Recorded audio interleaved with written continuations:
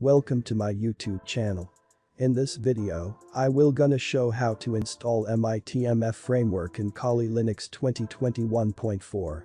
So let's start.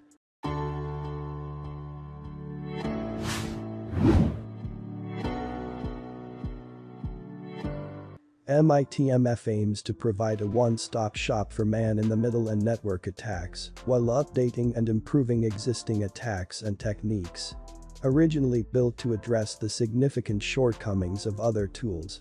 It's been almost completely rewritten from scratch to provide a modular and easily extendable framework that anyone can use to implement their own MITM attack. You can visit this article where you get all the commands and details. Copy this command. And here you can see my Kali Linux version is 2021.4. Now paste the command here. Enter your sudo password. It took some time to install. But make sure installation is completed without error. Now copy the next command and paste it into the terminal. This command installs the PIP in your Kali Linux. Now next command for installing the virtual environment. So this is the command. Now copy this command. And paste in the terminal. But make sure installation is completed without error. Now we have to add these two lines in the .zshrc file. So open the .zshrc file using your favorite text editor. I am using a Nano text editor here. Now go to the end of the file and paste these two lines here. Save the file and exit.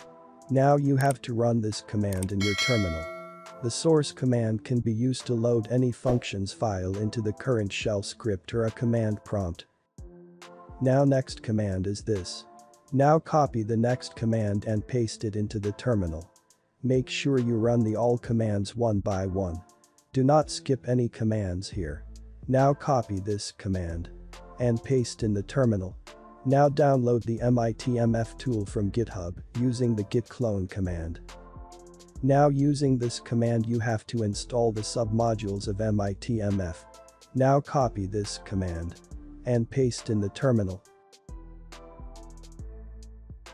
Now using this command you have to install the dependencies of MITMF. Now copy this command and paste in the terminal. It took some time to install. And here make sure the command is completed without any error. If you are getting any error here then your MIMTF tool not working. This is the most important command while we install the MIMTF tool in Kali Linux. And here you can see my command is completed without any error. Now you can run the MIMTF tool on your Kali Linux. And here you can see my MIMTF tool running on Kali Linux 2021.4. The MITMF framework contains a built-in SMB, HTTP and DNS server that can be controlled and used by the various plugins. So that is it.